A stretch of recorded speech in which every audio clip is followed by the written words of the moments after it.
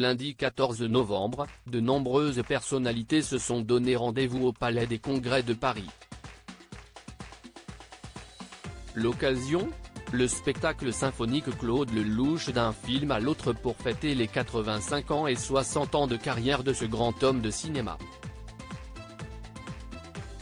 Un ciné-concert dans lequel la musique de ces films est jouée par l'Orchestre Philharmonique de Prague dans ce cadre exceptionnel. Sur le gâteau, était exposé son chiffre fétiche 13 car 85 ans, 8 plus 5 égale 13.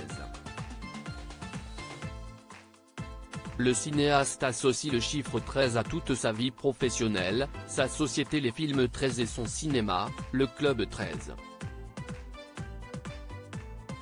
Si la soirée a démarré par le photocal, elle a été suivie du superbe spectacle et s'est conclue avec un cocktail.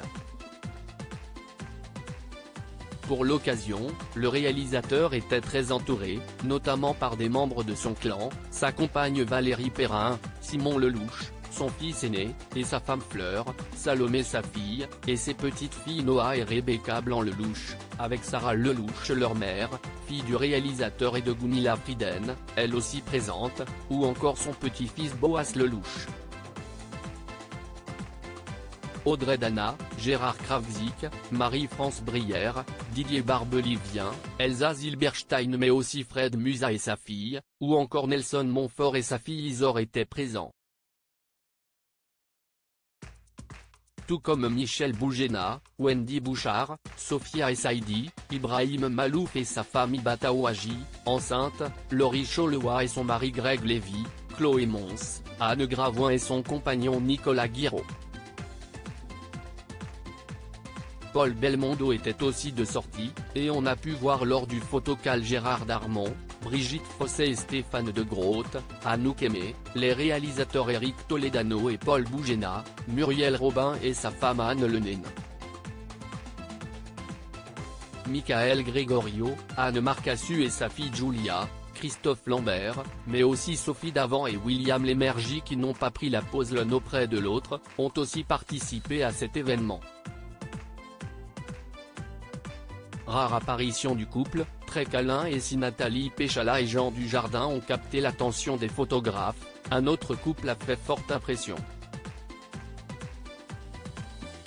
Il s'agit de Julien Clerc et sa femme Hélène Grémillon.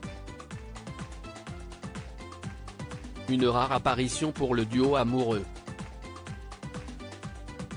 Aux côtés de celle qui fait battre son cœur depuis de nombreuses années, le chanteur la prenait par la taille, en témoignent les clichés. Et celle-ci lui tenait la main dans la sienne. Des gestes amoureux et tendres qui ne trompent pas quant à leurs sentiments.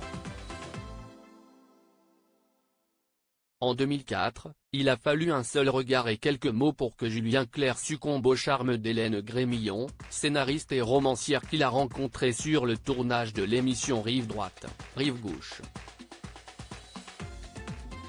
Une belle histoire pour celui qui a connu avant elle d'autres femmes célèbres comme France Gall, Miu Miu, avec laquelle il a eu deux filles, Jeanne, 44 ans et Angèle, 47 ans, née de la relation de la comédienne avec Patrick Dewar que Julien Clerc a fini par adopter à sa demande.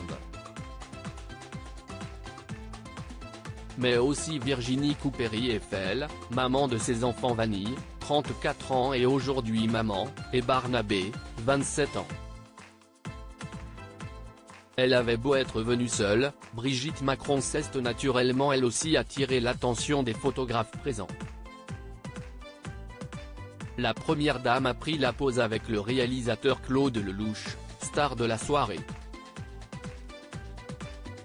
Patrick Bruel, Thomas Dutronc, Clémentine Célarier, Calogero, Nathalie Bouteau-Dinana, ancienne compagne de Patrick Sébastien, était rayonnante, Paul Belmondo, avait eux aussi fait le déplacement.